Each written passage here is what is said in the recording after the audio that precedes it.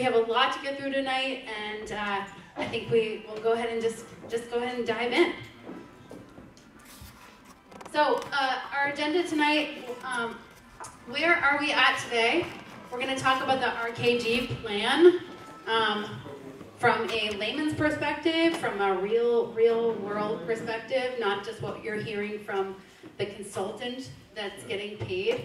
Uh, we're going to talk about paper compliance, why we don't have it.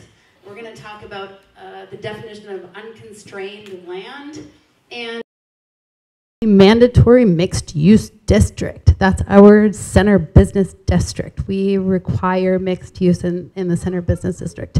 And the current status, what, what has happened and what uh, our planning board has sent along to the EOHLC, which is the Executive Housing of Livable Communities, headed by Se Secretary Augustus, Housing Secretary Augustus. Then we're going to dive in quickly to our exemption case. Why does Winthrop deserve an exemption? Why are we different? Uh, what what are the implications of what what we've done here, and who are the players? And then um, the most probably interesting to everybody tonight is going to be the citizens initiative petition. What's the law? What we did, how our town has handled it, and and what's next. And we really want want you to share your thoughts. Any anything to say right off the bat, or no? Oh, okay. All right. Here we go. All right. Where are we at? Um, we, the people, have filed an, an, a case in Superior Court seeking an exemption. We, the people, have petitioned to ensure that the citizens are the decision makers here.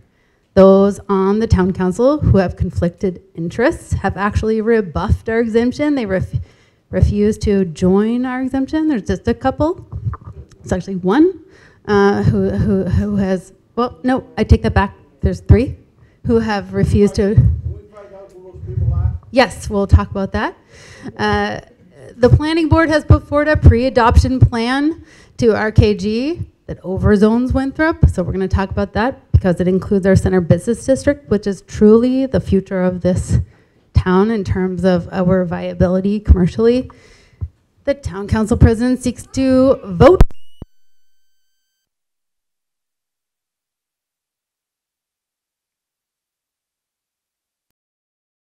in that case. And I, I thought we'd take a minute to talk about Milton and what happened today in the hour that has been building up over the course of six months or so. Uh, I just want to point out that if Milton wins, um, those four grants that are in the statute still survive. And this has become a political issue. So the people that are pushing to comply today will still comply if Milton wins, just an FYI.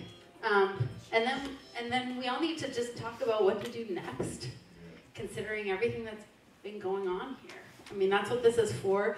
This, uh, I think, I'm, I'm hoping that this is a lively conversation. Don't feel stifled. Don't feel like you have to um, comply by these unusual rules that we have in the town council meetings. Um, I've been to the Boston Tea Party Museum twice this month, and uh, I, I, guarantee those, those town meetings, even though they're mock town meetings, are, are quite, quite lively indeed.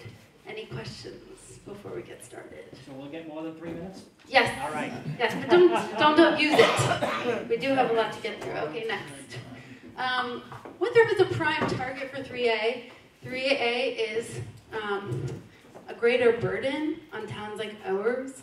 Uh, we have amongst the highest density counts in the nation, not just in Massachusetts. And two, two ways in and out. Two ways in and out. Uh, Winthrop is, a, is actually a very desirable place for these types of units. We'll, we'll talk about the types of units that 3A ha has in, it, in its um, gaze. Uh, but, but essentially, if if, if you're thinking about um, moving into one of these places, you don't want to be four miles from a train station, you don't want to be four miles from your neighbor. I mean, Weston, is, which is on the left, is, is, is essentially um, you know, a beautiful community, but at the end of the day, uh, it isn't probably the best location for these micro units that are being proposed. Um, I do want to take a step back quickly uh, and talk a little bit about the Milton case, just because I, I, would be remiss if I didn't. Um, today, uh, Milton was heard. It was an hour long after six plus months of, of long awaited uh, deliberation. Uh, Attorney, uh, Attorney Haskell, who represented, represented the Attorney General's office, called these um, what, what uh, the Attorney General seeks to, to claim as guidelines, he calls them, or re regulations, he called them guidelines with te teeth. To which the SJC responded, what's the difference between guidelines with teeth and regulations? Uh, also, very importantly, I don't know if you caught this, Michael, too, um, Kevin Martin made a comment that zoning laws, just like election laws, are controlled entirely by statute. Did you catch that? That was pretty good because that, that, that's important for our purposes. Um, we're, we're talking today about a petition that is, in, is controlled entirely by statute, uh, and, and our certain men, members of our town leadership have, have gone off, off script there. Um, but back to back to this picture here. Um, uh, this idea of just pushing density is not going to solve the uh, housing affordability crisis. It will actually continue to drive up housing costs. Density doesn't make things cheaper. It doesn't. It, density makes things more expensive. Okay, and that's because in this case, and we'll talk about it in a second, um, what this law has that's very specific and very unique is a, is a guideline that says you can't have a minimum bedroom size, you can't have a maximum number of bedrooms, and you can't have an occupancy limit. That's very specific and very unusual, and it allows landlords to charge by the head. Just keep that in mind. So if you're, you know, if you're talking about Weston, you get five acres. If you're talking about Boston, you get a 500 square foot apartment. All right, let's dive into the RKG plan.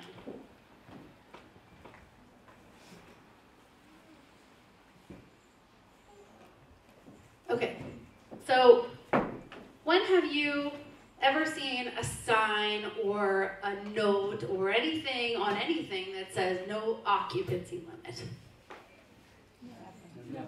Never. Never. Not in an elevator. Well, Right. elevator, yeah. Or a whole. No house. occupancy limit. No occupancy limit.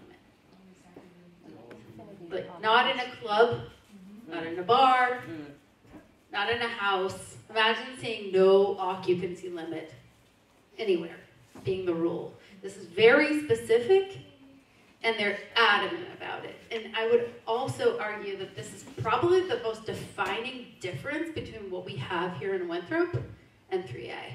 Apart from loss of rights to developers, this is really the most defining difference zoning wise uh, between what we have here in Winthrop and what is in 3A and what is required under 3A.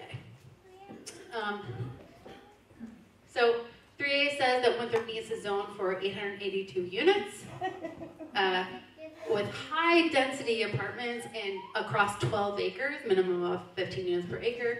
This is not paper compliance as uh, RKG would have you believe. In fact, RKG has gone ahead and zoned for 43.5 uh, acres. And the way that they did that is that they um, actually, in, in the model, which we'll talk about in a second, they put lower numbers in their model than what would actually exist on the ground today. Uh, I don't know how they got it. I've asked for, for how they got those calculations. I have gotten no response, but it's, it's very unusual, and uh, I don't think it's the 15 units per acre. I think it's something else, but that's, that remains to be seen. Any questions? Of course, yes. No occupancy limits. So they had a house, they could put fifty people in there? Yes. Yeah, Under the so, guidelines, that would be totally legal. What about fire? Fire hazard? Uh, the- so the statutes, Yeah, there's gotta be the, s- laws. the statute says, section three A says that anything that's zoned under three A is still subject to the, to the sanitary code and the environmental code. But by definition, that does include the building code, the fire code, or any of the rest of it. And then in the guidelines, they say, don't zone for anything other than the absolute minimum state compliance. They say, we don't want you to look at any other state laws and comply with this, build whatever the hell you want, and as much as you can get away with. No, in terms of the fire code, no, it's, it's, a- actually, there's a good argument, if you were to stand up and be a real jerk, that uh, I'm the developer and I don't have to build anything to, to fire code, because it's not one of the two things it's subject to. Exactly. And, and by the way, the sanitary code is nothing to write home about. It, it says that it's, uh, if you want a bedroom that's for one person, you, you have to have at least seventy square feet. That's like a rug. Pardon? Living in a closet. It's smaller than a prison cell in, uh, Suffolk County House of Corrections. Correct.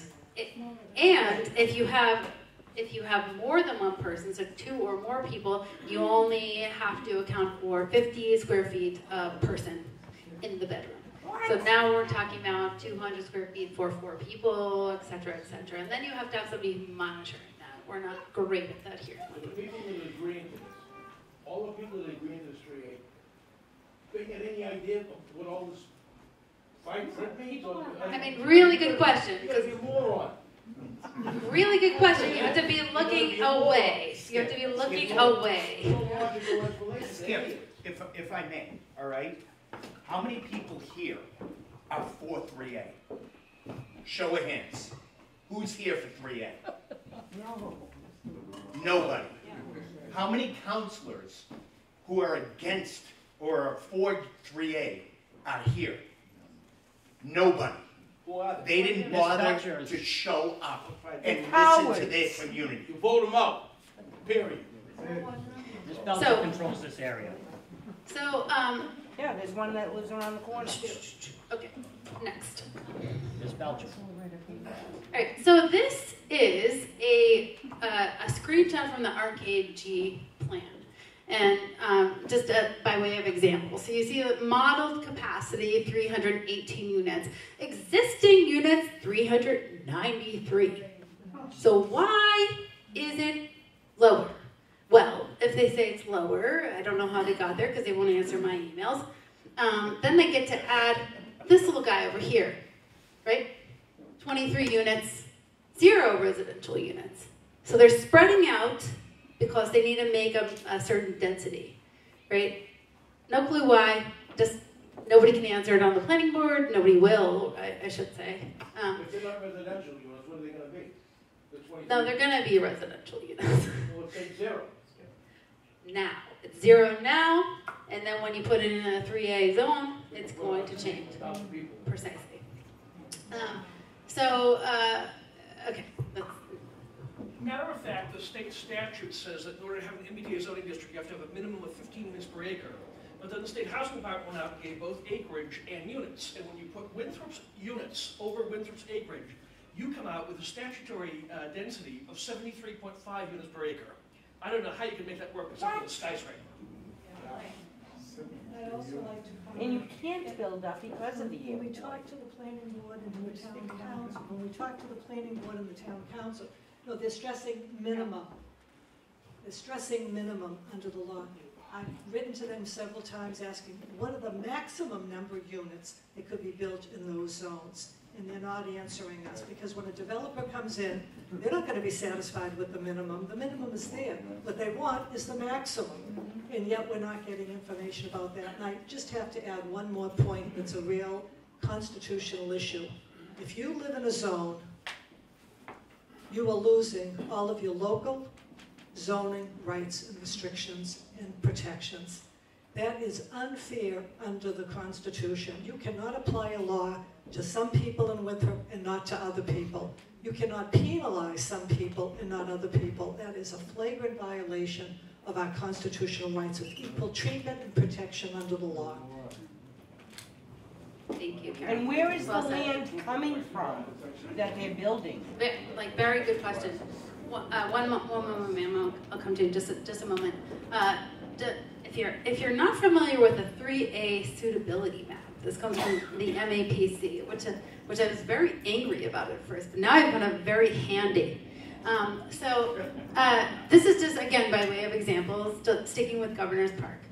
uh, according to the MAPC, so this is back to the, is there, is this a paper compliance plan? No, they didn't, when you think of paper compliance, paper compliance, just for those um, starting out on this journey, i- i- is a way of zoning in such a way that nothing will be built. That's the idea behind paper compliance. And in, and in our town, we're, we're very highly dense, and that would result in little boxes around the existing buildings. As we found out, that also hurts the people that are in the boxes because 3A supersedes condo docs. However, that isn't what they did here. They drew a circle, okay? Um, and, and the MAPC has been working very hard at this, and they have determined that each one of these circles, and again, Governor's Park is the example, has a, an, an amount of unconstrained land. What is unconstrained land, according to the MAPC, which is, you can think of them like the lobbyist arm of the governor's office. Unconstrained land is um, parcels with higher unconstrained land area have more available land for development and therefore receive a higher suitability. So in Governor's Park, we've got 11.9 acres, uh, not 98 acres of unconstrained land of the total acreage of 14, so 12 and then 14. And then they added this little piece here, that's another acre. So now we've got, now we've got uh, 13 acres of unconstrained land to build on, which is not, not paper compliance, and it gets worse. And I promise I'll get to my point about the exemption and everything else in just a second. I just want to make a point here. Um, they also included our entire center business district. This is what offends me most about this entire situation. Utile was at least smart enough, Utile was our previous consultant before RKG, to leave out our center business district. And the reason being is that they said, we think that you would probably want to don't, you know, design this yourself. We think that the town wants to retain control over your center business district, so we'll leave that alone. Not RKG. RKG has included the entire center business district. That's the purple. I know it's a little hard to see, probably on purpose. I'm not trying to be conspiracy theory or anything, but um, um, and they're calling it an offset, which is an overlay, it's, except it's worse. It's worse in, in, in, in that under 3A, an offset is not compliant but has to comply. And in a, in a business district, in a mandatory mis, mixed use district, that means you can't you know, have a minimum bedroom size. You can't have a maximum number of bedrooms. You can't have occupancy limits. You also can't require uh, parking for non-residential uses. They're saying it's non-compliant because it has non-residential uses included. Okay. They're also saying that um, okay, it can still be mixed use, but you can't have true mixed use. True mixed use involves more than one story. Say we want to have a, a doctor's office it doesn't have to just be on the ground floor. We can we can make that a couple levels. We can have an office building. Okay? Under 3A, you could only have non-residential dental use on the ground floor. And again, these are by right. So if you don't know what that is, it just means that you don't need special permission. Our center business district is for businesses. It's not for residencies. It's not so that we can sprinkle in businesses with our residents. It's for businesses, and if we want to add resident residential units to our business district, we can. But it's ours to design. You know, and if you're if you're like me, you're feeling like it's looking kind of great these days, and you know, with uh, with the coffee shop having moved over to the center, it kind of livens up the place, and we're talking about putting our Christmas tree back and stuff like that. Like this is crazy, and it really pinches our businesses. Because if we're saying you can't require parking as a business, and we're and we're doing this, and we're and we're requiring all these things, um, it's going to kill our businesses, and it's not fair because this is our space. This is our center. And if you think of all the places that you like to vacation, you could probably think of the center, like Newburyport and things like that. But Not knowing Winthrop all that well, what I can tell you is, is that between the 2010 census and 2020 census, you increase the number of small businesses in Winthrop alone by almost 25%. That's a hell of a growth rate. And very few cities in this community, in this state can match that. And so naturally, we're gonna squish it.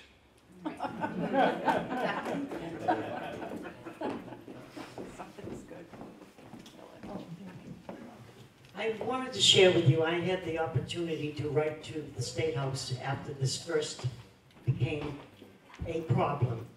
And the problem started with the Winthrop was not qualified because she needed to have more than nine thousand to qualify for exemption. That was number one. Number two, there's nine states that go back to November, okay, Arizona, California, the District of Columbia, Hawaii, Maryland, Massachusetts, Minnesota, North Carolina, and Washington. These nine states have already been told, now we saw our own governor up there at the Democratic Convention.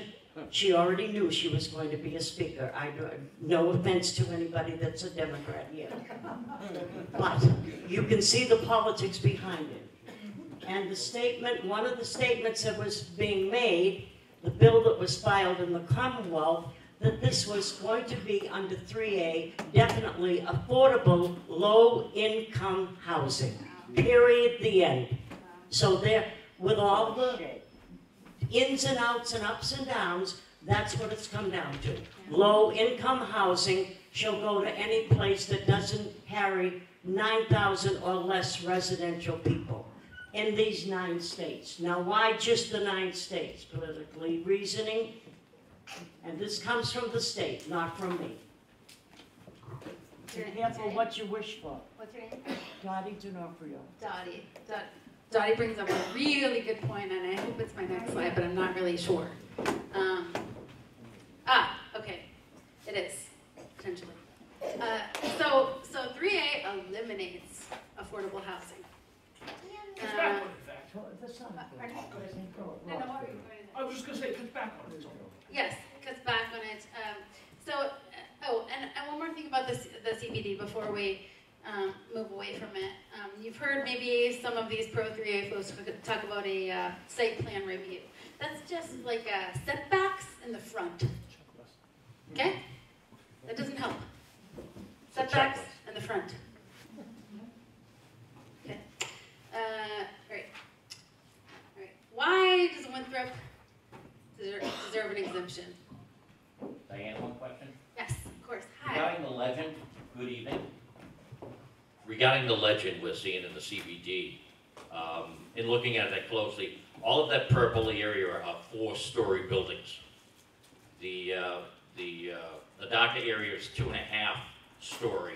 As it is already, my concerns are that it's already a concrete jungle down there, and without sunlight, how much colder is it going to get? So, again, to your point, it's a community, it's a public area for all of us, and I think we should, uh, if anything, green it up instead of darken it, so. Love that. Thank you. Thank you, Councilor Costigan. Really good point. Uh, all right. So why does Winthrop deserve an exemption? Um, all right. So densifying one of the densest communities in the nation with this densification law is harmful. 3A seeks to allow for multifamily housing. Winthrop already has 65% multifamily housing. Winthrop is built out. Unlike other towns, that picture that you saw earlier of Weston, um, we actually had three undeveloped acres left in 2005. 83 units to go before we were deemed built out. Since then, we've, we built approximately 230 homes. We've well surpassed what we're even able to accommodate today. And um, if you have heard about this two and a half um, prop override, um, it's probably an, out, an outcome of something like that, where we are just, um, according to the head of the finance committee, I believe, I think Shannon's in the room, she can correct me if I'm wrong, uh, at a recent review of our budget, we are growing faster than we can afford, is my understanding. So at the end of the day, we, we were built out, we were built out a, about a decade back. Uh, we are also geographically compromised. Okay, um, someone mentioned it earlier. Uh, increased traffic hinders our access to emergency care and exacerbates already compromised evacuation capabilities.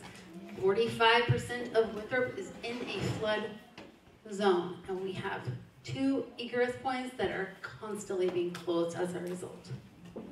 Point Shirley is constantly being blocked as well. Yeah, good point. Good point. There's no Um, evacuation route down here. We keep asking, where is the evacu- evacuation route? I can answer that. I can answer that. That was a, that was Uh, a question so- I so- had for our town manager, and he unequivocally said to me, in the event of a disaster, there is no evacuation plan for Winthrop. Yay! Not only that, but even if you get into some kind of trouble, there's no help coming. Because if you think about it, with no, with no disrespect to Winthrop's police and fire forces, uh, it's routine in the fire business. If you get a really big fire, like a confrontation, you know, multiple buildings or what have you, to call for help. There, there's a whole alarm, after the first alarm, you automatically start calling in help. It's called, on the fire department, it's called a run card. Typ- Typically speaking, the difference between, once you get to, uh, there's a first alarm, there's a working fire, and there's a second alarm. By the time you get second alarm in, you typically have between five to six communities coming in, sending engine and ladder trucks, and of course, they're all coming through those two causeways. We actually, in our exemption case, we ran the fire department numbers about what it would take to get, uh, but it's part of the reason that we're here. We ran the numbers about what it would take travel time to get help from East Boston, Revere, and Chelsea to this building right here. No way. And it's not within standard. It is almost two hundred percent out of the NFPA sta- nationally recommended standard. Just if all the roads are working, and if everything works right, and the, tra- and the traffic light. Imagine any one of those roads going out, you guys are in deep trouble. We had a baby down Right? because an ambulance, we have, two- I guess we have two ambulances. And they were in use. Yep. And the baby had to be rushed with, I believe, chief. That's right. Their, Oh, their that's right, car, chief. CPR going on, and the baby died. So my question is, if we're all gonna be in a hazard zone because of this, fire, water, I mean, it can go on and on, why can't we just sue them and say, listen, this is against our health? Right. They're going strictly by population, nine thousand or under. And if you don't comply with nine thousand residents or under, you're automatically locked in. And if you don't comply with three A, you're not going to see any federal or state funding coming from your government. Right. So, so, so, so, so, let, let me just, uh, let- let- blackmail. but I think I'm gonna answer a couple of your questions, My, uh, no, here. my question is, why did our legislature go ahead and vote for the bill? Really good question. I think it All right, was it's in right the heart of COVID. Why did you vote for, uh, Turco? He did. He wasn't there. We're definitely backtracking as a state right to resolve. This went in the code of July. I knew the baby that died. All right, I knew the baby that Yeah, died. go ahead. I just want to say that our first responders did everything they That's not what possibly I'm saying. could. No, I'm just saying that. all- No, I'm We're all just, at risk, yeah, no, yeah. okay? But I'm saying they did everything they could. ambulances, And you push all of these people with no head count in each unit. God knows about the fires, God knows about what's gonna go on the drugs, God knows what's gonna go on in the sewer, whatever. What if something happens and they can't get to us? That's why That we point put is valid. fire That's rescue, valid. emergency station down on Why Deer don't we Island. have the police chief here, the fire chief here, and everybody arguing for us against this because of our own hazard? They won't do it. So- They won't do If. I can Go ahead. so one Go of the ahead. questions that was asked, you know, was, why did I vote for it? I wasn't in the legislature when this passed, so let's It be was crystal voted clear. in July. It, it was voted three years ago, before I ever became a state rep. Bob DeLeo resigned from the House of Representatives, there was a vacancy in the House, there was a special election in March. The law got passed in the wee hours of the morning, I believe five On in the July morning. On- thirty-first, the- the two law got passed. twenty-four. No, No, Doug, They- it's different. No, no, That's no, different, no, From Doug. the State House. Once That's a again, you're different talking about bill. The wrong law, Doug. The law we're here for is about three A, which was passed in January of two thousand twenty-one. Correct. Speaker DeLeo was gone, I didn't take office till Yes, April right. seventh of two thousand This is called twenty-one. the Affordable The law that Housing you're Act. talking, No, it's to not. be- Dottie, to give it's you not. crystal clear, the grants right here that, from the the State grants that a House. city or Dottie, town it's not, loses for That's not not what this complying with three A are not, have nothing to do with the federal government. That's another inaccuracy. There are four, the, the, the bill was written in the Senate. Our senator supported it at the time, Senator Von Corey was a supporter of the bill, the senator, Voted or actually was in writing. I mean, I wasn't there, so He I presented it. He, he presented it, Sen- Senator Crighton, Senator Crighton from Lynn is the only one in the House or Senate that spoke on the bill and what it did on three A. That was discussed today at the SJC hearing. So, Well, this is, uh, I'm waiting for you to finish. Affordable housing. About evacuation. In July. According to They have former 10 days. uh, Fire Chief Paul Flanagan, Wyndham's evacuation plan is to shelter in place. Yeah. You can't leave this community and go into East Boston and think you're gonna get a lighter traffic pattern, you know what I mean? So it's shelter in place is what we have. Listen, there- there's so many moving parts in this that's even worse than three A. You may or may not know this, some of you do, because I've talked to you about it. Um, The city of Boston has proposed, the Mayor Wu has proposed to make Bennington Street each way one lane. They want to get permanent bike lanes so that Bennington Street would be one. Myself and Rep. Giannino, where, where Bennington Street goes into Revere, that's my district. Rep. Giannino and I had a meeting with MassDOT, we said, this is absurd, has anybody talked to Winthrop about this? I said, why would we do that? It's in Boston. I said, because it's an evacuation route from Logan Airport, number one. Signs say it right on the road. Number two, you're gonna endanger the lives of people leaving Winthrop and that live in Winthrop, and frankly, in the Revere side, um, over there as well. And so Adrian Madaro has come out against it. I feel confident that that's gonna stop there. So there's so many different parts, but we're here to talk about three A. You know, Mr. Nofrio is confused. She's talking about the housing, the uh, Affordable Homes Act, which was passed in July, which has a whole bunch of different things that are bad that I was But it opposed came to. in the entire But, but the package. three A law, which I'm opposed to, and I would have voted against if I was there, I was So at the SJC this morning to watch the argument in person. It's all Well, mixed it- in it- town. it passed unanimously. I wanna know if there are Senator any Crighton is the one who exemptions. offered, Lynn is the one who offered the amendment to the end. If, if, all right, if you take a vaccine and something happens to you, the doctor's exempt, everything is written because it's an emergency, okay? Are they exempt from this law, from any hazard, health, fire issues, if something were to happen? Well, I mean, you get, can you, sue the state? no, you can't. I, I, you know, yeah, we- we have a thing called the Massachusetts Tort Claims Act, which passed in 1980-81, which, which waived, the state waived its sovereign immunity uh, in a limited capacity because of a case out of Wa, the town of Ware. And in that case, it's- I mean, I'm giving you a far more than one, but the Supreme Judicial Court of the Commonwealth said that in the town of Ware case, that if the Commonwealth doesn't voluntarily abrogate its sovereign immunity, which is the right not to be sued in its own courts, that the, the court is gonna throw out sovereign immunity. So they passed the Tort Claims Act. And one of the things the Tort Claims Act in section ten J has a list of exemptions. that says you can't sue the Commonwealth and nor its municipalities for discretionary functions. And one of the things that's providing public safety is a discretionary function, right or wrong.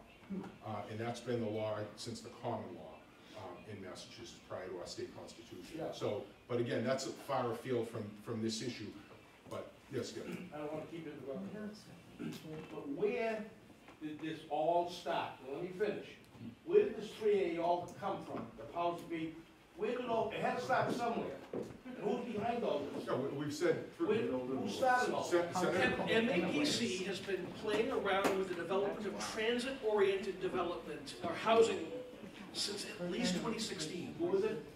MAPC is the Metropolitan Area Planning Council. It's a state-funded think tank And it's- that, that that has districts, and every district has one, and they're It all started there? more or less. It's been But kicked who around. powers that be that are pushing this? I mean, the guys that are behind all this bullshit.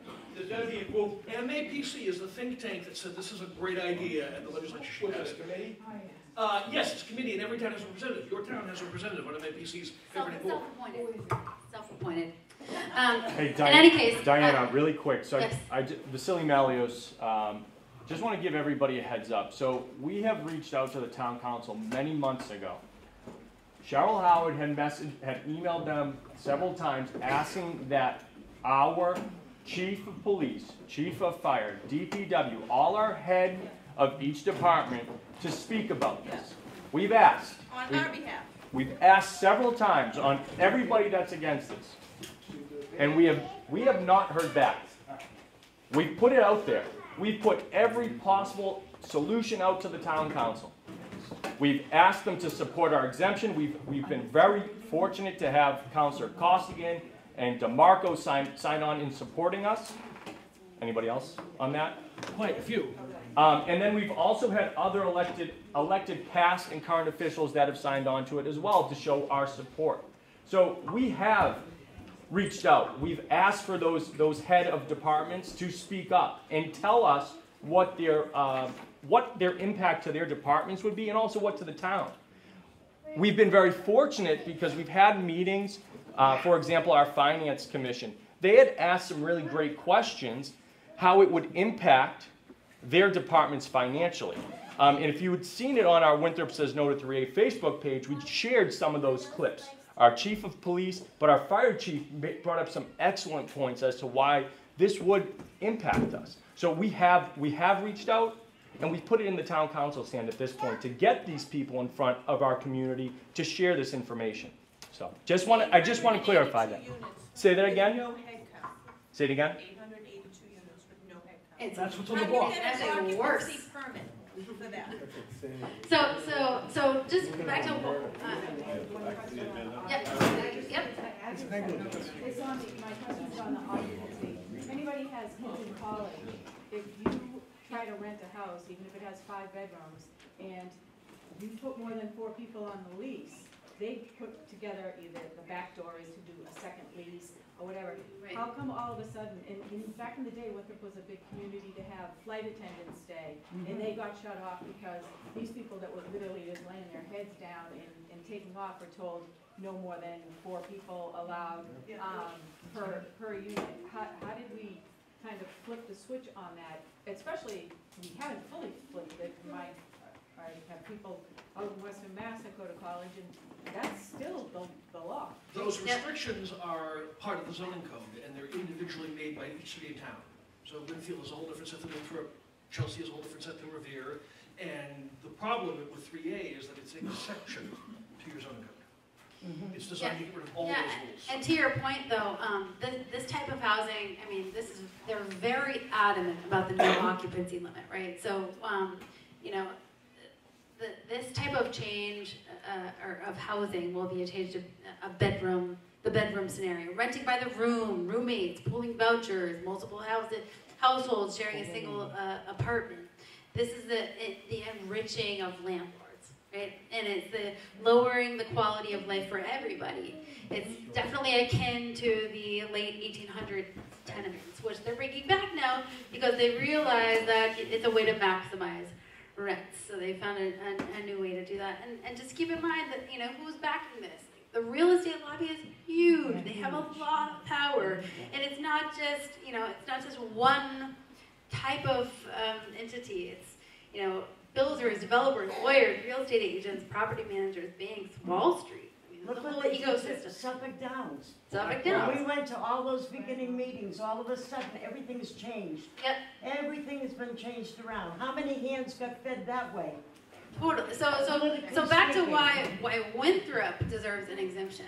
Um, so we talked about we talked about our extreme density. Um, I'd also, you know, like just point out that this this calculation by the EOHLC was a whoops. It was an accident. Was this is this is a law that was slapped together.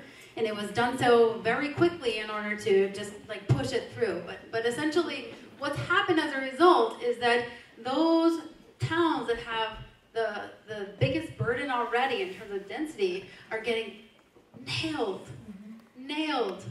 Okay, Winthrop is the smallest city in Massachusetts. By the way, if you look up the smallest city in Massachusetts, it will come up with Chelsea, which is 1.8 square miles. And right under that, it will say Winthrop is a 1.6 square miles. I don't know how that happened. That's pretty odd. And we, but we are the smallest city in Massachusetts. Okay, our density is uh, is is is more so than than our exempt neighbor, which is uh, uh, East Boston, which I guess is on the next uh, slide. But if you look at these other towns, that have less people. So this is the population, and then this is the um, square miles and acreage, right? You can see, um, so Luxembourg, uh, sorry, Lunenburg, thank you, uh, is 27.7 square miles. We're 1.6. They have a population of 11.657 um, people. We have 18,510, probably more than that, but that's 2022. And, and, um, and we have to zone for 882 units, and they have to zone for 240. They have more space, less people, and they have to zone for more, or sorry, less units. And the reason for that is because they are considered an adjacent small town. And I know that a lot of people in this room understand that our town manager fine, but he did, okay, but he also did, I guess, attempt at one point, I think, to try to ask why we weren't a small town, right? We're the small city in, in uh, Massachusetts. Why aren't we a small town? The reason for that is because we have too many people. Correct. We have too many people For sale signs, everybody. Right. For sale. So it's just more evidence that this thing was slapped together. In order to be a small town uh, under 3A, you need to have, you need to be eligible for the Grow Your Town grant. That's what I'm calling it, but that's what it is. Um, and, they, and, and the reason for that, they, they took the um, requirements for the Grow Your Town grant and they just slapped it on here. And they said, uh, you've got to have less than 100 acres of developable, developable land and a density of less than 500 people per square mile or a population of not more than 7,000 year-round residents. Well, we don't have that stuff because like we're we've got a lot of people and they live here all the time. And we're tiny. But unfortunately, that means that we're not a small town and we have to zone for 10% of our existing housing stock, unlike small towns which have to zone for 5% of their existing housing stock with no minimum acreage. So we have to give them 12 acres, uh, unlike the rest of the small towns. But there's a question. Does this, does this plan contain the city of town, or the, was it devalue or increase the value of the property? Oh, uh, so really good question. Um, there's zero. ed- so this idea of densification means that you know think of New York, think of LA, think of Boston, right? Where you see density, generally speaking, you're going to see more expensive places to live. There is a caveat to that in that there are some impoverished areas that um, that some different um, have been uh, circumstances have been introduced that offset that. But generally speaking, where you see higher density, you see more expensive units, and it's because of the things I just said. There's this idea of co-living, um, getting rid of um, uh, common areas, uh, charging by the head, charging by the bedroom, um, and it allows you to maximize as a developer or anyone that's interested in doing something like this your profit margins. So when they're saying affordable housing, they're talking out of their ass. my- Is my house gonna be worth more or less money than the average? It's going to be worth more. So, so well, Makes sense to me. well, so so so here's the thing. Um, so here's the thing. If you have if you have a hmm, if you have one house on an let's say an eighth of, of an acre, right? Um, the way you maximize the profits, according to the people that are pushing this, on that eighth of an acre is you put as many units on there as you can. Um, what happens if you put something like this in a single family residential area is that those developers give, you know, they've given, they've been given tools and they've lobbied for this, are looking at the MAPC 3A suitability map and they know when you bought the property, how much you bought it for, how long you've lived there, what the residential capacity is, what the development feasibility is on that land, and they will go and knock on the doors. And whoever sells first, they will they will go with that person, and then it will decrease accordingly as the neighbors see their. And Diana, may I interject on, may I just interject on this, Yeah, on this part? Because this definitely relates, um, this relates to Milton. Um, we, I have family in Milton and through the three A, just different correspondence with people in Milton. I can absolutely tell you, it was in the paper, but I can tell you firsthand, when this was happening in Milton, people in East Milton had developers coming to their doors, asking them to sell, saying, your market value is, let's say, a million five. We'll pay you 2.25 or 2.5 million in cash. No home inspection, no nothing. Here's the money, get out. So believe me, this idea when people want to say that people aren't coming to these communities that are, you know, in, in the 177, which Winthrop unfortunately is, it's been proven in Milton. People were coming to their doors happily asking to buy their properties. That's not fallacy, that's not conspiracy, it's factual. They did it in Revere. To- to put it another way- The Opportunity zones too. How does that affect the opportunity zones? Uh, those are a, a separate scheme which are undoubtedly aimed at similar. Dens- density is a supercharger. If you think about it, you've all seen, at least in the movies, rich farms, and you all know poor farms too. And you all know rich luxury downtown units like the new, the new condos in the Seaport District in Boston, and you also know poor urban blighted areas. Density supercharges whatever's happening to your community. In most cases, it makes everything more expensive, but if it's gonna get worse, it's gonna make it go way worse, and it's gonna make it go way worse faster. Kind of like what happened in Detroit. Yep, exactly. And I was actually down uh, on the seaport at Medi. Uh, we had a date night, me and my husband the other night, and we we looked up the apartments that are around us as we walked back to our car, which was um, in that same area, and had never seen those buildings before. And anyone want to take a guess what they're charging for between a studio and a three-bedroom on the waterfront uh, in East Boston right One- now? 1.5. Uh, for, for rent, for rent. Oh, five thousand dollars for the studios. Oh, for, for the studios? Potentially. Yeah. What about the three bedrooms? Twenty thousand? How much? Twenty? You know, not ninety-two hundred dollars a month. Yeah. So to Michael's point, what, what is that? Yeah, a hundred thousand dollars a year, exactly right. All right, so, so quickly, I, we do have a lot to get, oh, one second, Carol. Uh, Wait, so just, just a minute. Here's who's gonna lose. If you're living next door to the person that sells out, and sixteen units is going in there, your property isn't gonna be worth more, it's gonna be far less, because no one's gonna wanna live next door to that kind of a building. Also, what's failed to be recognized is developers are winning. This phrase, as of right, really means that we are relinquishing zones to the state. In perpetuity, the state will have control of that zone, and you will not be protected of any of your local rights or protections.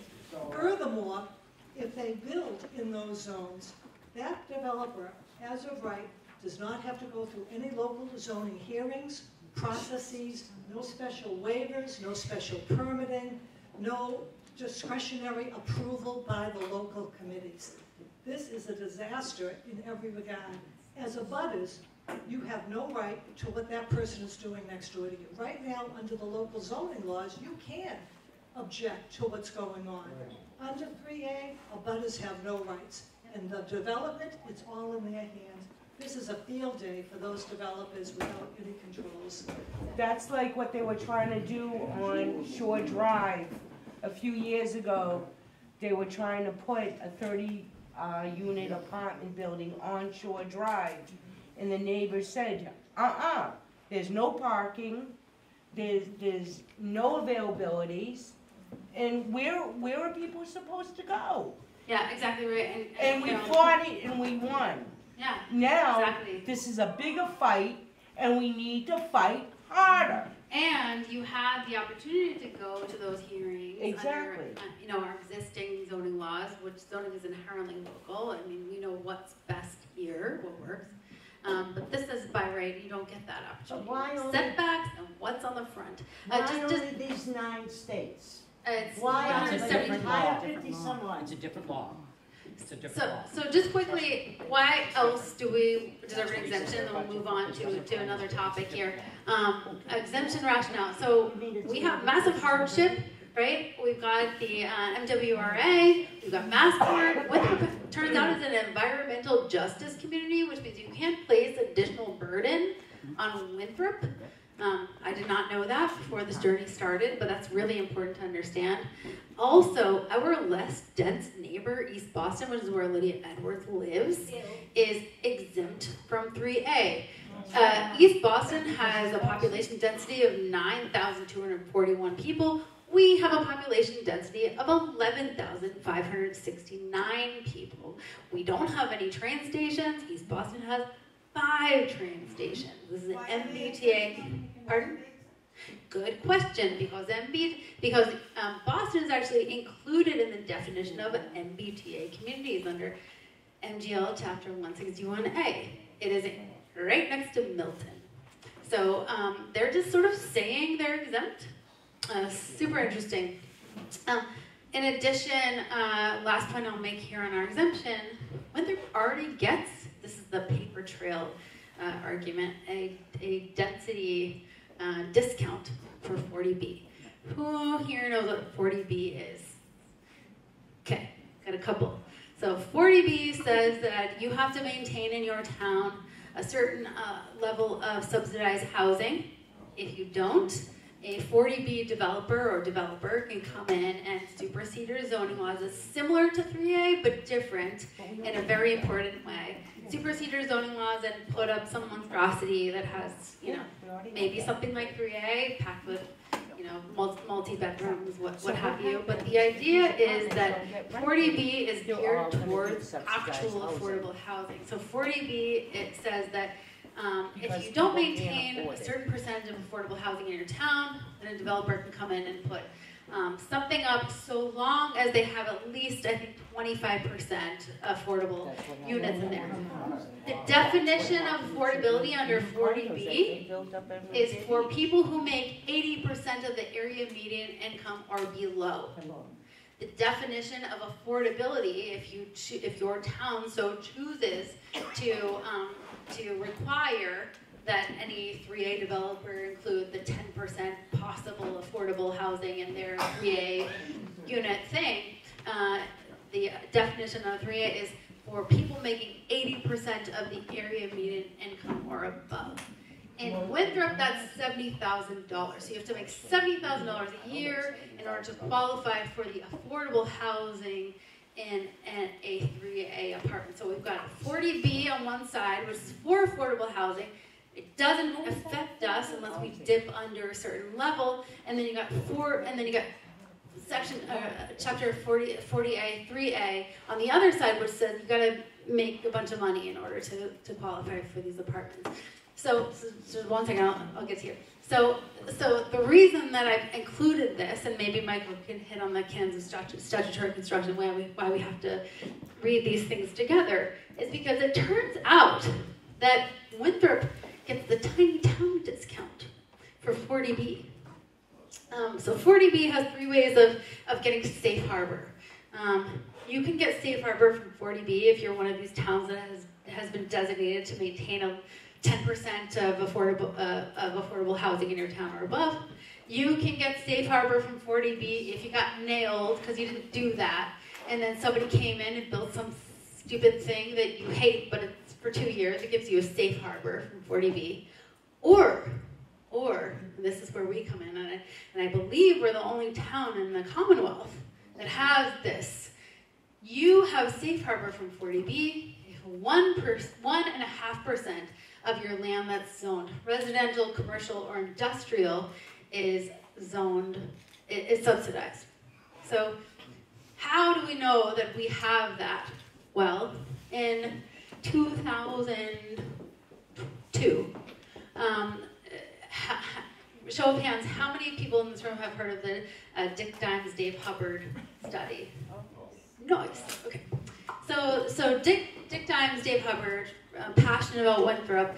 They sat down when there was a proposal in front of Winthrop um, uh, by a developer who was represented by Attorney Sabaleta, who's now a Ware Town attorney, came in and said, "We're going to put up some stupid thing uh, at Winthrop Hospital." So Dick Dimes and Dave Hubbard sat down and they said, for I don't know, six months or I don't, I don't know how long it took. And they sat down and they went through this very tedious calculation to figure out uh, whether Winthrop qualified for this very unique safe harbor. This is a type of safe harbor where you don't have to like send in your stuff every year. You only have to do something, a study like this, if somebody comes to you and says we're gonna put up some 40B something in your in your town. So they sat down and they put this painstakingly every single unit here in this town, and they figured out not only do we have 1.5% of subsidized uh, that are, of our land that, that is zoned residential, commercial, industrial, that's subsidized, we actually have 4.4%.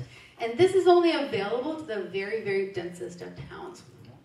Can Um, you, can you just elaborate a little, because if you notice in the writing that they say as of two twenty, the censorship in Winthrop was the determining factor.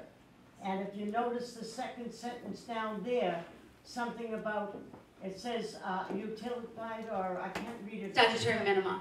So- so- Minimum for affordable housing. Yep. Every single time we discuss this combination, if you will, Sir Representative, the combination thereof, when the bottom line is approached, it is affordable housing, and it is also massive construction.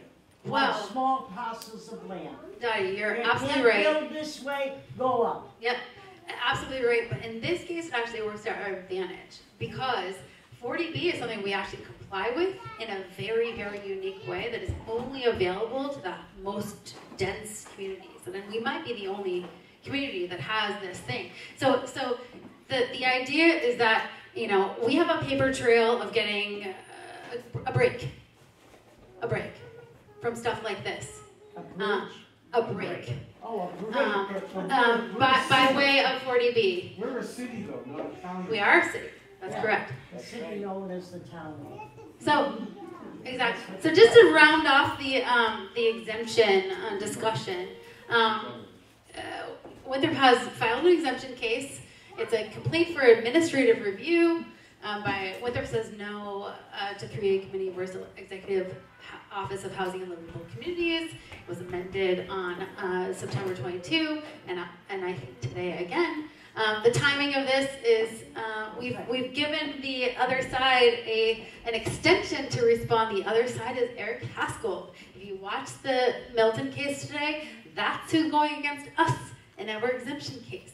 So it's the Attorney General's office, um, represented by Eric Haskell, um, who are uh, the plaintiffs in this case, and um, we, definitely owe like a debt of massive gratitude for just applause as you will see Patrick Costigan, Rob DeMarco, Dr. Carol Fucella, Fred Bagley, Gus Martucci, Peter Gill, Larry Powers, Paul Barone, Maggie Riley, and the Winthrop Says No Committee. Thank you, thank you so much for, for supporting Winthrop. I cannot thank you enough. It's tremendous. If you ask everybody, if everybody will make ten calls to neighbors and friends, explaining to them the significance of this bill, it should not be on the ballot. It should not be anywhere around Winthrop. But go out and talk Agreed. about it. Give it- Agree, Dottie, thank you. You're absolutely right. And, and just one more point I'll make about the exemption, and then, and then I'll get to you. Um, if we're successful in our density argument, there are 105 other towns and cities that, according to our regulations, do meet or exceed the density that's required by 3A. So there's a really good chance we could be a, um, a safe harbor here in Winthrop as a result of our efforts, much like Lincoln was today. Just a simple question. I just want to know what an environmental, I forgot what the phrase was now, Yeah. environmental justice community or something? Really good question. So you can become an environmental justice community in a number of ways. You have to have a certain um, percentage of um, diversity. You ha- um, in our case, we're just environmentally compromised. It's, it's as simple as that. what is the best solution that you can come up with, being a lawyer and whatever? If you had to make a recommendation to us, what is the best way to try and shut this down and stop it from getting If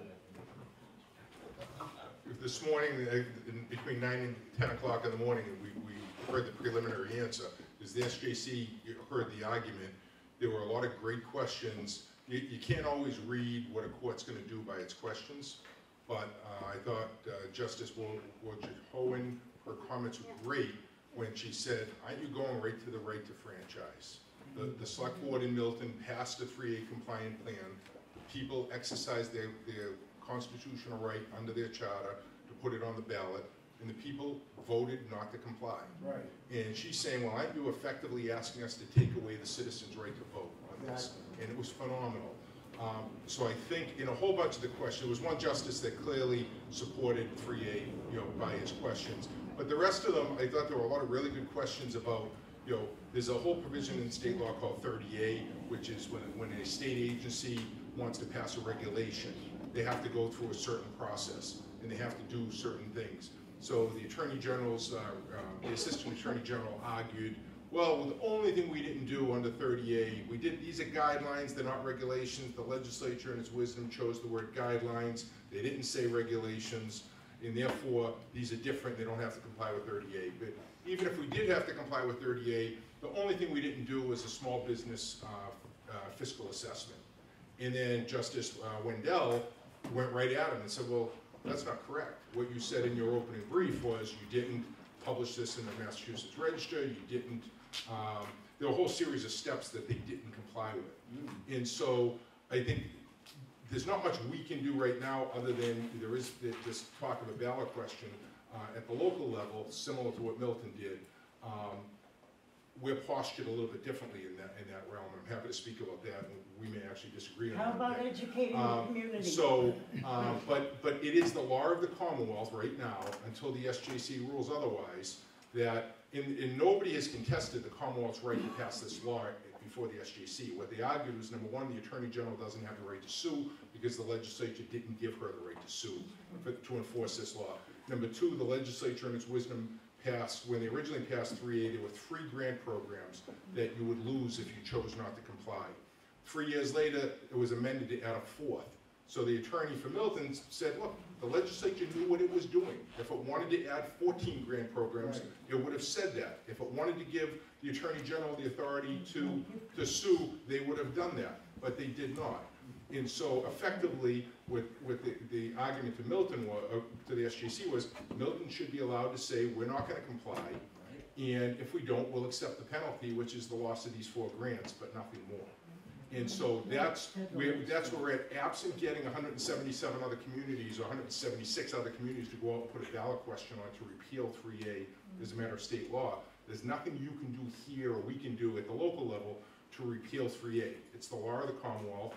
You know, I filed an amendment to exempt Winthrop when we did the budget debate. It got rejected.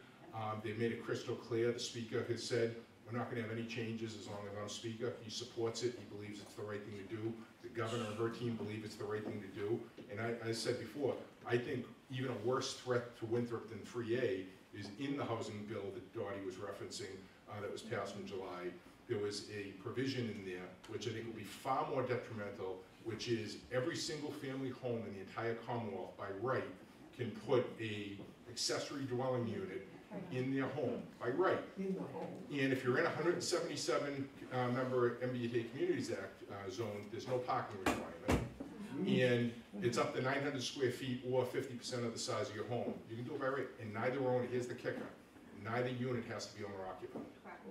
And Why so what isn't that's this gonna do. public and to the so- community? So what that's gonna do is that's gonna wind up, you know, jacking up prices as private companies come in and buy single-family homes, put in a s- an accessory dwelling unit of nine Oh, yeah. hundred square feet, and turn around and rent them out. They get to claim depreciation, there's a whole bunch of different reasons why they can afford to then pay more than you might if you were looking to buy a house in the town. Well, maybe the transcript can. Yeah, and I- Everything that you're hearing now, put this in the paper and make everybody aware of all these negative things coming down at us. Everybody doesn't get. Yeah, that. and I just want to make one, Most people no, don't well, get like, just, just one quick clarification. I think that the exemption that was before the House, right, was for folks that complied with forty B to be exempt from three, from three A. It wasn't specifically for Winthrop. We have a No, I- massive amount, I, I filed one to say if you were compliant with forty. 40B, you'd right. be exempt. And the reason was because of the discussions Right. regarding Winthrop's, uh. right, but we, we, like, just to, just to point on that inner point. Uh, we do comply with 40, 40B in a very, very unique way, um, which is, which is lends to, to our other points. And, and I think uh, the fact that we were assigned the Milton attorney uh, speaks volumes. Go ahead. Hi, Kathleen Capuccio. Um, I am a member of the NOTA 3A committee, and I just want to truly thank, and I know this is not a political event, um, but when you are a politician, it's really hard, probably, to come out and, you know, go against the majority of, you know, your colleagues in the Senate and in the House. And sorry. Rep Turco is a gem for Winthrop.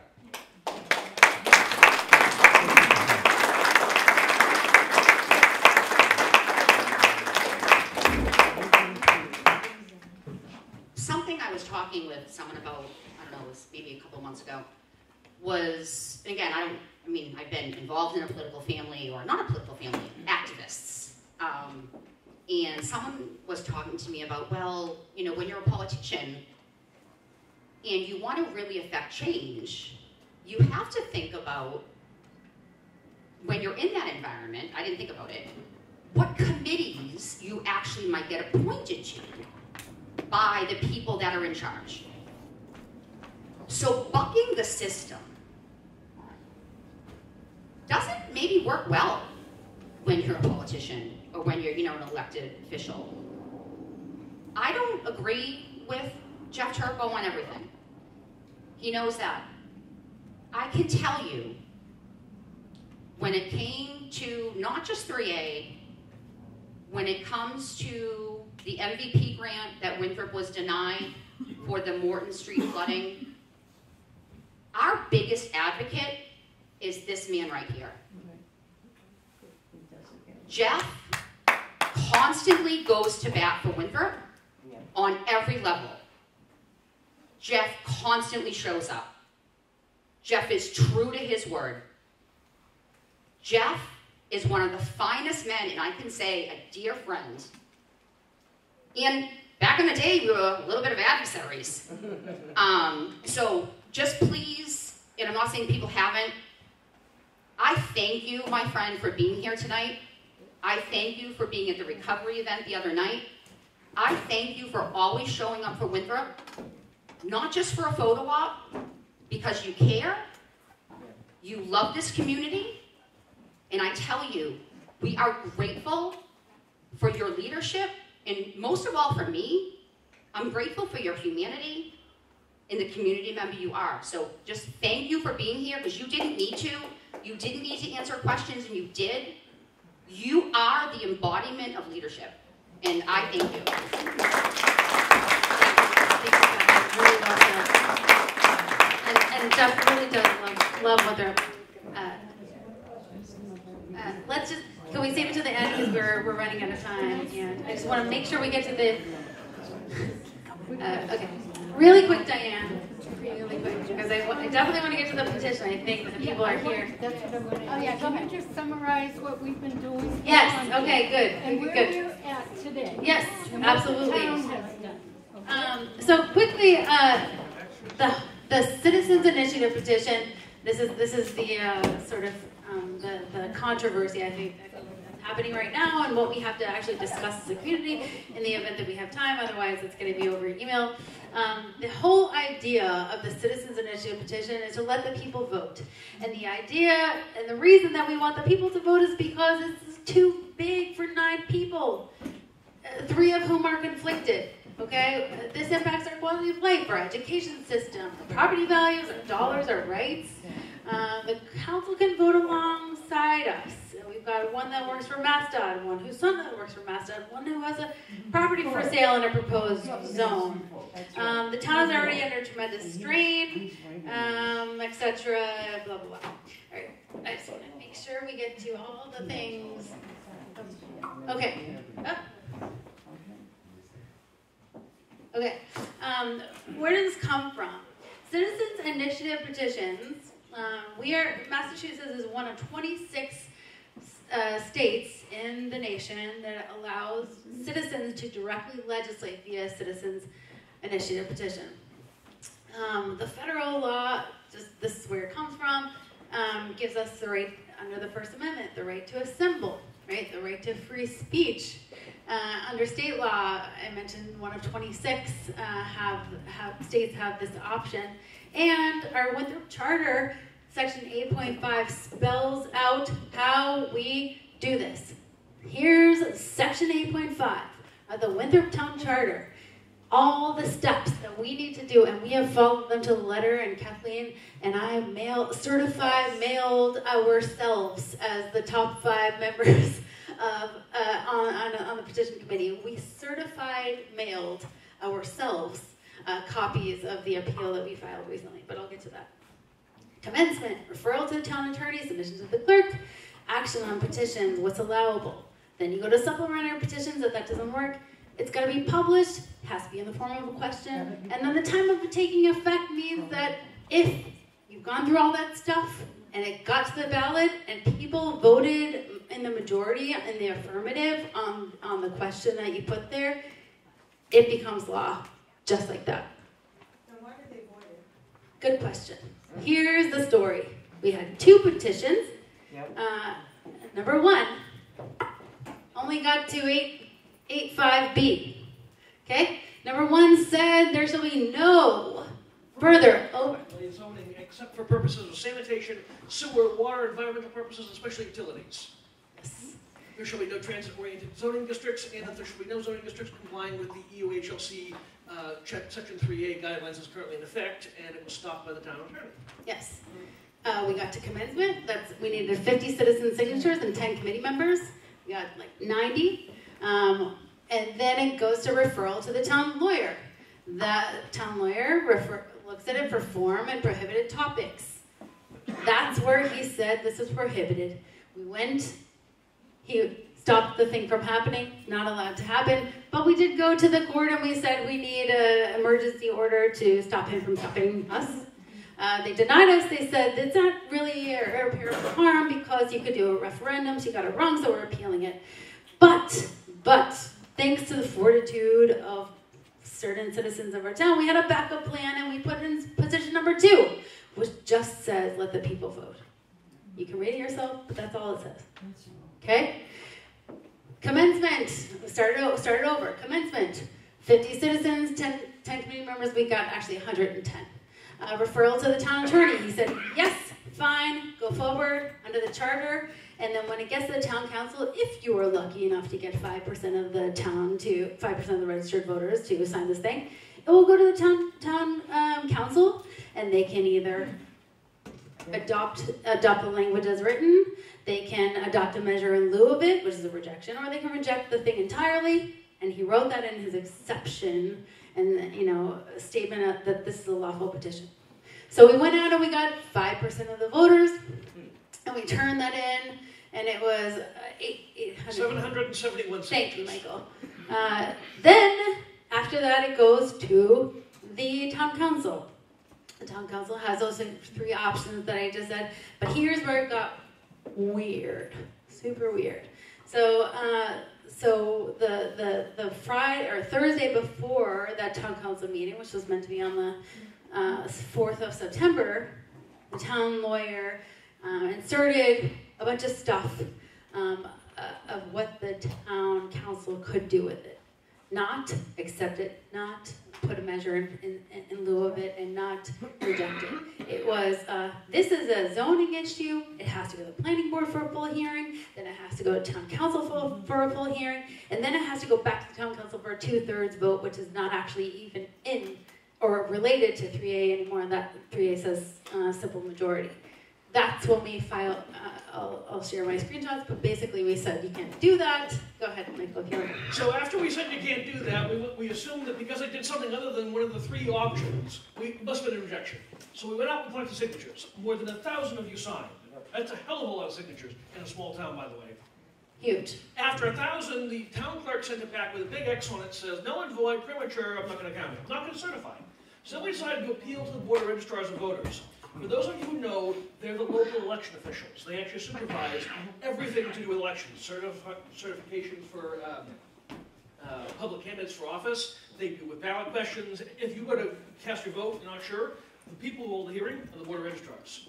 And the town attorney took the position that the Board of Registrars had no jurisdiction. Fortunately, some of them were trying to disagree with us, or trying to disagree with the town attorney and, and at least let us have a hearing. We were actually gonna try and have a hearing, and the town clerk, after bouncing our signatures, uh, got an opinion from the town attorney that says that they had no jurisdiction, so she wasn't gonna let them hold a hearing on public property. Think of it, this is a public board, they can't meet in a, in a public room in town hall, or the, or the library, or the senior center. So then we tried to secure the Point Shirley Association to have our own hearing, because it's a board of registrars, and they can meet anywhere in the town they want to, schools, what have you. Uh, we were all set to do it here, and then the town clerk wouldn't post the notice, so it was a legal meeting, forty-eight hours in advance. And then apparently, among the way, uh, someone, I'm sure if, the, if it's a town clerk or the town attorney, threatened to fire a majority of the board of registrars if they dared to even have a meeting where they would listen to us. And of course, they want to do this four weeks before the general election, presidential general election, because that's a really good time to be firing election officials. We've now amended our, the, the suit not against the state for an exemption, but the suit against the town of Winthrop and its attorney seeking to add in the second uh, petition. And we're, we're in the process of organizing a date with the town attorney right now for an emergency hearing. We're hoping, we're still hoping to try and get a local ballot produced for the November 3rd election. For those of you who come to the polls. In the event that it doesn't work, we're still hoping that the Superior Court will order something in the near future. Uh, at the moment, it looks like Thursday is going to be the best of moment, but I know Attorney Cipolletta has promised me by email in the last 15 minutes to get back to me tomorrow morning. And his attorney has COVID. So Excuse me, excuse me. You're talking about submitting and wanting it to go to the people for a vote. I'm gonna share with you two different occasions. The last one being, my committee, we fought the marijuana question. Now, if you remember Massachusetts State passed the marijuana, and if you read that question, no meant yes and yes meant no. Okay, wait.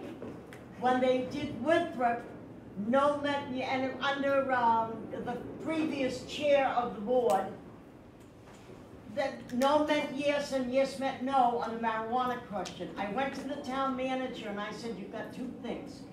I called the library, the law library into Boston, they worked with me very closely. I turned around and I said, you've got two issues. You either write it properly and legally for the people to make a clean, clear decision, or I go to the press and I expose everything. The town manager at the time was very, very nice, and he wanted it cleared too, because he had added right up to his neck with a lot of the issues going on in the political background of Yeah. Winthrop. You know, so Dottie, really good Be point. careful of the wording on the vote. Uh, First of all, um, as a, uh, um, pursuant to the steps that we took in chapter 8.5, one of them is for the committee to put out the language that will be on the ballot. Um, it, of course, is up to the town lawyer to okay, uh, that language, but we have put it in the language as written, and we have said, you know, question, shall the measure which is proposed by the initiative take effect? Initiative petition take effect, and it is exactly what is in the petition. Does the, one, one moment, do the people decide or do the town, town council decide on three A issues? Yes or no? Uh, I will say, to your point, that uh, our town has a history of rebuffing, rebuking, putting off, um, sidelining initiative petitions, and did so in 2019 with the Somerset. So those those um, those citizens put together an initiative petition. We found it. It was called Initiative Petition Number Two, ironically, just as ours was, uh, and it in a town council meeting was was postponed indefinitely. If And that's where it landed. And unfortunately for us, we are in a situation where um, citizens' uh, rights are not honored with respect to directly legislating via initiative petition, and that is what we are fighting against. They called, And- and- they called an attorney for me at the library in Boston, and they called me back, and they said, the one key element is you've got so much wording going on. At the end of that wording, put down the explanation. Yes means you do favorably want bingo, one sentence. Underneath the no, put the reason why in one sentence, so the clarity, because they will not stand there in the ballot box and read and read and read. And it's So- overwhelming. So, so where we stand today isn't even voter confusion. We asked to let you guys vote no, they wouldn't do that. So now we've asked that you guys should just be able to have a vote later on at some point, and they won't do that. They won't. They won't, even though you've signed the signatures, they won't certify them. They? They is town hall, the town clerk, and the town attorney. Can I say something? And, and the last piece, No, finish, finish.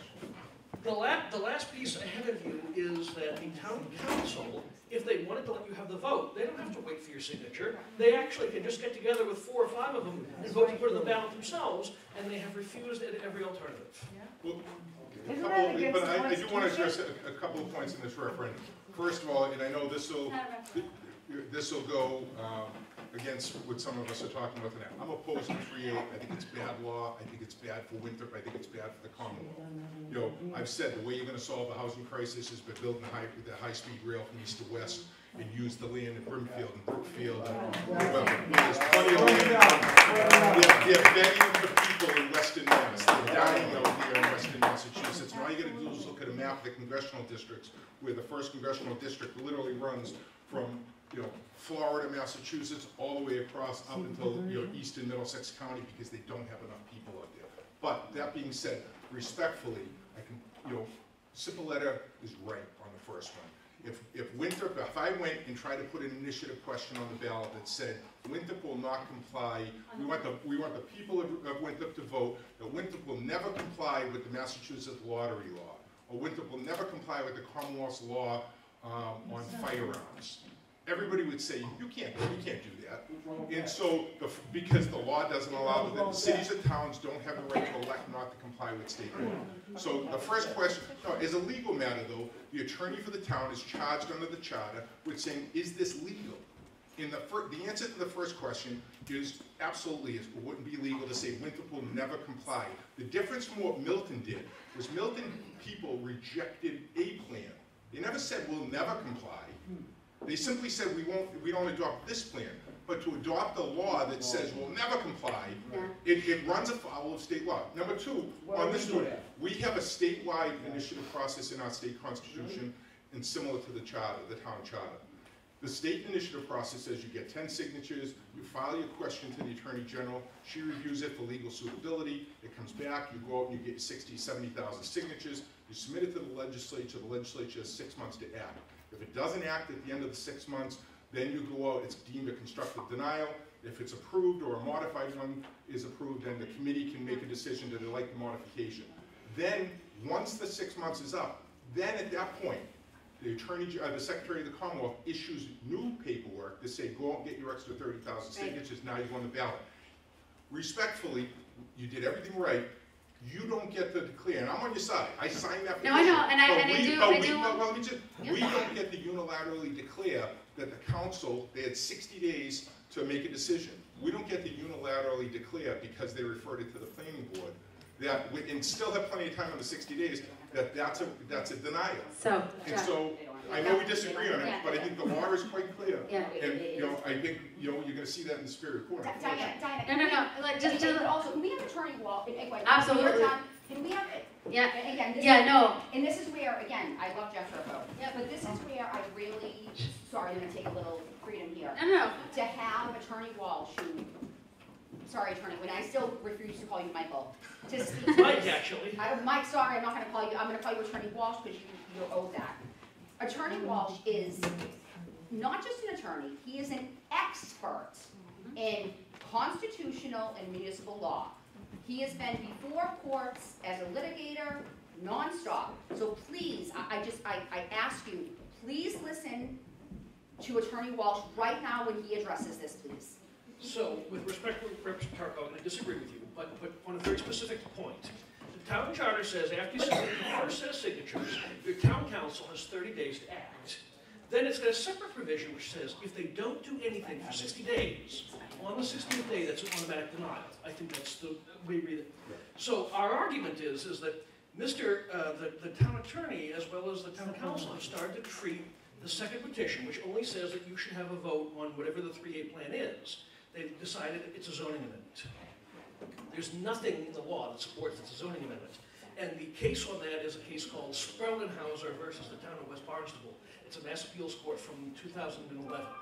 Uh, so it's not a zoning article, so it shouldn't have to run through the planning board and a hearing process for three weeks and all this. And the second argument is, is that even if it was a zoning article, that there's a, there's a series of cases that says that referendums aren't subject to 40A. It's a different way of making zoning. The, the, the SJC has been very specific about that. And so because of these two cases, one is on a zoning article, and two, even if it was, the zoning by initial ballot isn't subject to 40A. I think that the town attorney made a mistake, and so I advised Attorney Viennes to go ahead and start collecting the signatures, because even if we were wrong, the worst thing that happens is we collected the signatures too early. Yeah, and you- But the town clerk made a grave mistake because she wrote X across it and sent it back and said it was null and void. And there's nothing in the law that allows her to do that. Even if we were premature, all she has to do is stick it the and it. She sent it back and that was an error. I think that was a plain legal error. And I think we will win on that particular point. Agreed, and, and I'd also, I'd also say, attorney representing the people of Winter, but the town cronies. good point. And I- And I, and I also say, like, obviously this isn't a zoning issue. We're not saying residential A has to be residential B, or you could park over there now and not over here. This is who has the right to vote on something so very impacting on 20, 18,500 residents, okay? It's not fair to have, to, to allow uh, a nine-member council, three of whom have massive, open conflicts, okay, that directly touch their pocketbooks. This is obvious. This stuff is obvious, okay? There is so much to be lost here by not letting the people, and God knows, maybe people will vote yes. I don't know. But at the end of the day, it is the decision, the collective decision. And I'll be I'll be perfectly honest, I did not vote for the recall. I didn't. I thought it was uh, ill-intended. I thought it was based on somebody's comment. But God, am I glad it is here now. And I am so glad that we have uh, a, a, a way to address people that are not representing our town. Um, and, and we have actions that we can take uh, because this is very important. I, I do feel like we are not being represented in this situation. I know we skirted past the, the whole situation entirely, entirely, but but I can tell you I was in this room when when this happened, and I can I can tell you that when I saw the look on the councilors' uh, faces who who are for us and represent their constituents, they were shocked that they didn't get a chance to speak or vote and that there was no vote. I, I was flabbergasted. I've never seen anything like this in my entire life. Um, certainly not in the charter that a town council president can unilaterally just push away a citizens initiative petition that's backed by state law, by local law, by our constitution in Massachusetts, and by our constitution in the United States. This is bizarre. they get away with it in Winthrop. Not I'll tell you today. Well, sir. I've been here eighty Not today. Don't Hear that, Jeff? Not today. Get away with what you let them get away with, period. Okay? How does this affect? And I've been here eighty years and I've seen it all. How does this affect budget? Really good question. So, bankrupt us? yep, no, that's a really good question, and my father's actually here in the audience, and he's, he actually did a little research on what a new school would cost. So, uh, yes, agreed. Um, so we haven't seen a dime from the four grants that are in the three paragraph law for seven years. The last time we saw uh, any money from that, it was two point two point, two point three eight million dollars, and it was to pave over our town center, and that's when DeLeo was in, in the office. But if we were to allow something like this to take place, and again, our entire business district, um, circles around the proposed zones, lots of unconstrained land, we definitely, I mean, we will, we may be looking at a new school, and, and looking back at the number of students that we've, we've, um, had. come- Oh, no, no, no, we, we- we don't get. Right, it's a no-brainer. Why aren't we exempt? Uh, yes, here, here, and I, and I will say that, um, that we absolutely deserve an exemption, that there is no financial benefit, and we can't even put affordable housing in these units, which actually puts us at risk for, um, bumping us out of compliance with 40B. Um, the town council president has refused to uh, join our exemption, which is another problem, not problem, but just, um, observation. Uh, yes, yes. I'd like to ask Representative Turco, you know, we're concerned about complying or not complying. Isn't the bigger issue which the legislature has to tackle is this law is unconstitutional. It is being applied to people in zones that don't have the same rights as their neighbor two blocks away. Why isn't anyone tackling the unconstitutionality and changing this law? You cannot selectively cherry pick. This law applies to this person because they live in the zone, but doesn't apply to someone who blocks away. And it's gonna be an unfair application of the law to selected groups of people. Divided. I'm gonna lose my protections locally because I live in that zone. That's just unconstitutional. Why isn't that being tackled on a much level? Well, and what I would say is, that, you know, the un- the unconstitutionality of the law was not in question this morning before the Supreme Judicial Court. So it was not raised by Milton, um, at least in the, in the argument, in the briefing that I read from, from uh, the lawyers from Milton, they didn't argue over the constitutionality of it. What I would say is, every city and town in the Commonwealth has winter, we have all different zoning districts. Some districts allow single-family homes, some districts allow multifamily homes. You could argue that if you live on the, on the line between the multifamily and the single-family, well, why am I being treated differently? Why can I only have a single family and this person can have a two-family or a three-family? Well, that's where the line is. Every cities and towns draw lines. And, but the Commonwealth under the, the state constitution, you know, writ large, the Commonwealth controls zoning, except, you know, they leave it to local zoning under the, um, the local, the local amendments in the, in the late sixties. Um, but to the extent that the Commonwealth chooses to step in, like they did with forty B, you know, again, I don't like the law, but I don't think, I mean, it'll be interesting to see what legal arguments people make as to the constitutionality, but that hasn't been argued yet in the Milton case. I know there's some talk Yeah. about, there's some talk about doing that in federal court. I'm not sure what the federal constitutional right is, but. Yeah, and I would just, just a quick note about 40B. 40B isn't uh, the state coming in and mucking up your zoning. 40B is if you don't have enough affordable housing, they back, uh, one second, they back, um, you know, maybe, maybe, because we went in the, uh, with the hospital situation, um, i- i- if it looks like a, a developer lost out on, maybe they spent money on a study or plans or buying the land or what have you, you can you can foresee losses there, but that's a project by project basis. That's not the state coming in and zoning or mandating zoning in, your. But, but it, but it was the state overruling local zoning. I mean, it's. Yes, there- there- however, there's a- the- there- There's a right. housing appeals board at the state level, that what they've done with forty B, you go before, instead of going to the planning board and the, and the zoning board, you have one board that acts as the super board Yeah. at the local level. You make your argument, if you're not satisfied as a developer. Right, well, if you go get to- blocked, go to- You go to a state board, and then the state board makes the final call. It clearly overrides, and it's been on the book for decades. Right. If you're if you dip below the required level of subsidized housing under the law, uh, yeah. Uh, This is for Jeff. Um, Isn't it, since they wrote the law such that it had a penalty for noncompliance, why can you not vote against not complying with the law?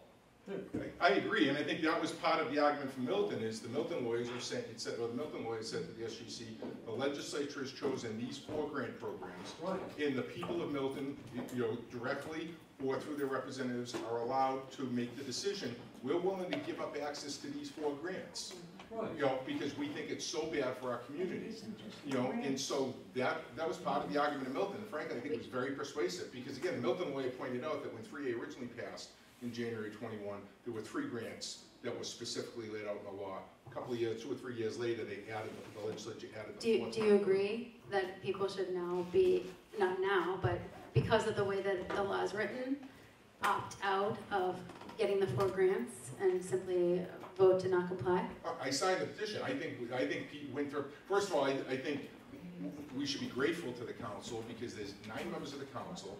And as I, you know, I haven't talked to every one of them, but just sort of trying to read the cards, there are one member recused, four members opposed, and four members in favor. We won. They need five votes to pass a three A plan in the Winthrop Town Council, and they don't have five votes. It's a stalemate, Yeah, it doesn't right. knock That- that- That's a win. They need five votes to pass a three A compliant plan.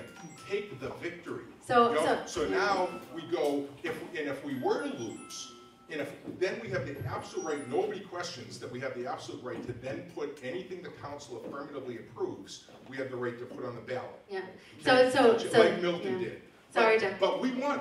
Yeah. We, No, I, don't I, sorry. I, know you don't. I, I love Jeff, I, we disagree on this point. Um, that being said, the only fair way to resolve this is to, uh, allow people to vote. I do wanna give a shout out to Diane Sands because not only was she, uh, like, uh, really, uh, you know, accosted during signature collection, but because the town clerk uh, yanked, or whomever, not yanked down our, our, our signs up at town hall, she went up and down Crest Ave and put more signs up and she fell the other day and hurt her leg.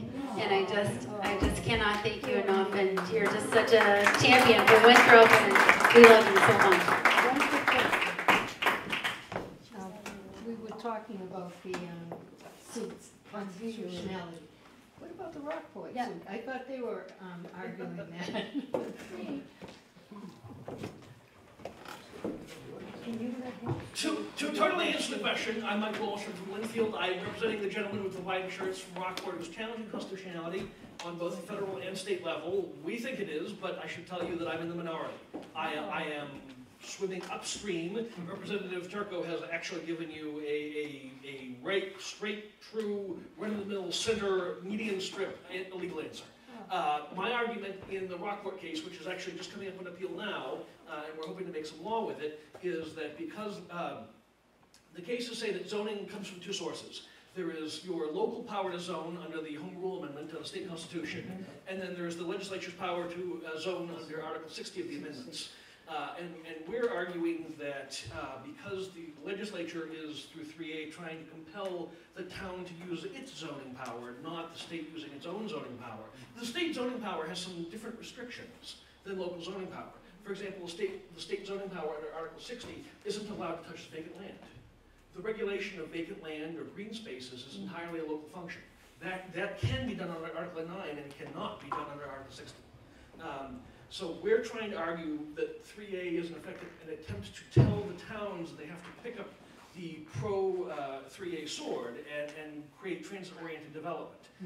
I have to tell you, the, the, the Salem Superior Court gave you exactly the same answer that Roturco did and said, see on appeal. Um, in terms of the federal constitutionality of it, this law is really strange in the sense that it unlocks zoning restrictions. Zoning, the history of zoning for a hundred years has been regulating for health or safety or aesthetic reasons, to promote green space, to shut down density, to try and, you know, create parking spaces and other amenities. And this is the first time you're seeing where the, the legislature in the existing law has come in and said, let's create an enclave. And so there's a legitimate argument, although I admit that it's, it's, it's a small argument. I am arguing the minority rule, um, to be perfectly clear. Um, but the argument on the federal level is that because this goes against a history, a hundred-year history of approving the constitutionality of zoning, that it is not yet tested, and that we have to go blank slate back to the basics of the Constitution and argue whether or not you can have a hole in a zoning code. Because zoning survives, as. Turco put a few minutes ago, zoning survives protection because someone somewhere has to draw lines. And so the courts defer very heavily when either the people or their representatives draw the lines. Uh, and, and so kind of the federal constitutional argument we're making in Rockport is, why is it okay to suddenly create a, a zone where there are no rules? Um, if you think about it, everyone knows property rights. Every five-year-old knows if I lick it, it's mine. Uh, but zoning is how we tell our neighbor what they can put in their backyard. And so our ability to control our neighbor's property is somewhat restricted. It's a compromise we've come to. And the cases in the hundred years of zoning history that have proved it have been very narrow. It's resulted in a very predictable body of law. But this creating an enclave where there are no rules is a whole departure from the hundred-year constitutional history.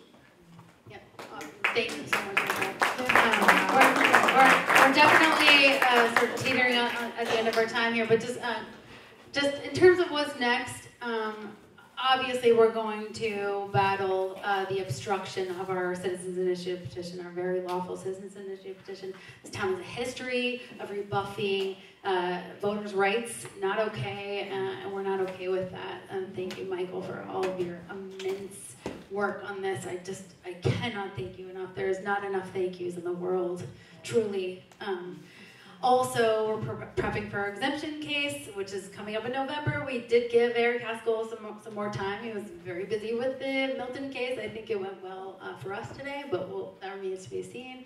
Nonetheless, um, as Representative Turco mentioned, there's more stuff coming. So if we can get an exemption from this, even if Milton wins and the four grants survive, there will absolutely be people on that council that are still looking for us to comply because this is now a political issue. Exactly. And we need to get out of this stuff. We should never have been looped in in the first place. 2.7 miles away is Lydia Edwards sitting in her exempt town with five, five, uh, oh, yes, Deanna. Yeah, but Hi. Maya Lou's gotta go too. Thank you for everything you do. Hi, I'm Gianna Tanis. I am running for your state senate here in Third Suffolk. Um, Who is she? I I'm didn't sorry. hear your name, I'm Oh, sorry. Gianna Tanis. Yes, so I, I grew up in the district, I've always lived in Winthrop. Um, but with that being said, long story short, is one of the reasons why I'm running against Lydia Edwards is because of this situation. This, even though it was handed down from the higher aboves as a state senator, we should have all petitioned it. This shouldn't have even gone through in any capacity whatsoever, as much as we can try and fight for it in the legal genre. Um, so tomorrow night, we are doing a Meet the Candidate. We invited Lydia Edwards multiple times on her terms, moderator, all the stuff. She refused. So it'll just be me. So if you'd like to meet myself and um, my viewpoint and what have you, we'd love to have you down the senior center at 5 p.m. Um, we just really appreciate like beyond belief, Diana, and all you've done. And um, Representative Turco, we really appreciate you as well and standing with us as a community. It really means a lot to us. Thank you so much. Uh, so just, just to wrap it up here, um, I think, I don't think we're gonna solve it tonight unless someone has some, groundbreaking, uh, idea. But certainly, uh, we are not being represented in, uh, at the local level. Uh, I, uh, am a big proponent of going back to town meeting and not the representative kind, like the kind where everyone shows up and you stand up and say, here. Um, and I don't think it's very hard to do, um, at all. So it's probably just another petition. Uh, so, I mean, we'll talk about it. Obviously, we're all connected over social media. Um, and, and another thing is, I don't, I don't know if I'm in the minority, majority, but having gone through this situation, I don't think that these infractions and obstructions should go unaddressed. Um, the blatant uh, blocking of a hearing on our, our legal petition to vote by uh, uh, uh, you know officials is, is, a, is problematic and, and certainly uh, can't cannot go uh, unaddressed in my in my mind. But um, we need to decide what to do about that as a community. Is there anything we can do, I mean, immediately in terms of filing a complaint with the state a- a- about the- some of these things? Because So mean, it's beyond three A, I mean, it's well beyond three A at this point. They're just not listening. Um, so the problem, as Rick Turco may be able to tell you in some more detail, is that the state government is a whole octopus of departments and arms. So for example, if you had a complaint about open meeting law, you write to a specific division of the Attorney General's office. If you have a complaint about public records, you write to a specific division of the Secretary of State's office. And these departments, although they all mean well, and they all apply their own statutes, unless you know them or have someone walking you through them, it's really hard to know where exactly to land. Which isn't to say that you shouldn't try, it's just, um, it requires some insider knowledge. Good brainstorming session. Sorry, Diana's not gonna like this, nor is Attorney Walsh, but, um, I just, this woman right here, Diana Viens, is a flippin' warrior. Um, and I am so grateful for what you've done for our community. Sorry, I'm emotional. Um, just for what you've done for our community, and Attorney Walsh, you know, I've been in the legal field, well, I've been a little retired for two years, but I've worked with a lot of attorneys, um, a lot of really great attorneys, and you're just a flippin' step above. Um, and, but, but, but truly though, the, the amount, the, the amount of time, That you've dedicated to this community, you know, free of charge, just because you're passionate and you believe in democracy and constitutionality, did I say it? Um, I, I I just truly can't say enough about you. When I got to watch you in court maybe a month ago, I literally sat there in awe, and I've seen attorneys talk. You're something special. And the fact, though, that truly that you have donated your time to this community, and you know, again, with, with- of course with Diana, but but again, like you two are rock stars, and again, you know, Diana, the time you've taken away from your job, your family, and everything else. I thank you. I am honored to be your friend. And everyone in Winthrop should truly, whether you are actually pro 3A or, or yes to 3A, should applaud these two people for wanting us to vote. We are not looking for anything miraculous here. We just want our right to vote. And this has been said, but I'm going to say it again because I'm not an attorney. We have followed the bloody charter. We have followed state law. We have done everything right as a committee, and our town is doing what they want. It is time to rise up, speak our truth. We are, we are losing our democratic rights here. But thank you to these two amazing, amazing people, and she's gonna be mad at me. But, but thank you, because I'm, I'm indebted to you. And whether you're yes or no to 3A, everyone should be indebted to you guys for just fighting for rights for us to vote. That's all we're asking for. So thank you truly.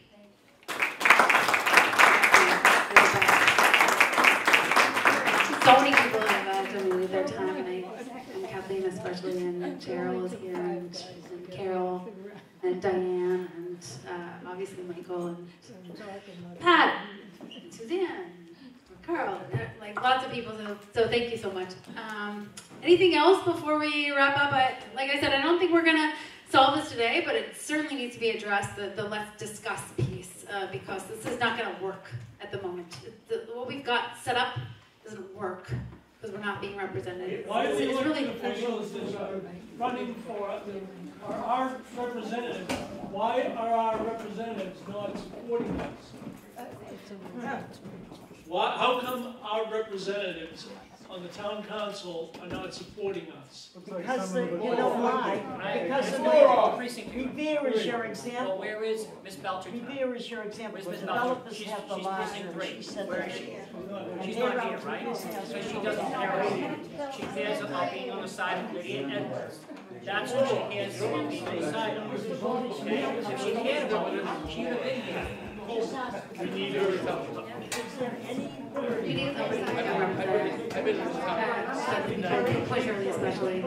anyone else left? left? Diane? No? I've seen